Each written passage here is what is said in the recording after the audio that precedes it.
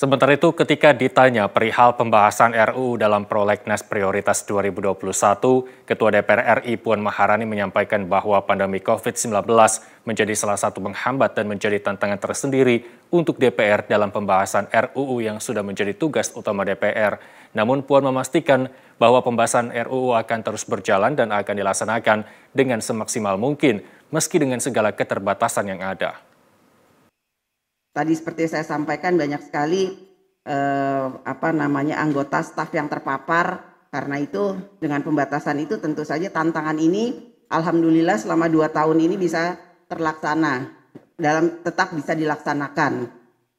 Walaupun saya juga mengakui bahwa keterbatasan itu tentu saja membuat semua hal yang kemudian sudah menjadi target kadangkala harus bisa berdamai dengan waktu, artinya mundur sedikit, atau mungkin mundur ya itu nggak mungkin bisa uh, sesuai dengan target karenanya memang ada beberapa komisi yang kemudian menyatakan meminta perpanjangan dalam pembahasan-pembahasan terkait dengan RUU.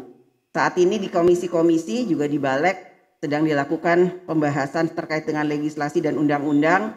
Tadi dalam pidato saya saya sudah sampaikan apa saja yang kemudian sudah dilakukan akan dilakukan dalam uh, prolegnas yang akan datang Tentu saja target-target tersebut eh, saya saya memahami bahwa eh, masyarakat berkeinginan bahwa target harus bisa diselesaikan dengan sebaik-baiknya.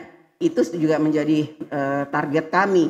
Namun sekali lagi kinerja pembahasan legislasi itu juga harus bersama-sama dengan pemerintah. Jadi memang hal-hal yang terkait dengan hal tersebut harus bisa disinergikan bersama dengan pemerintah.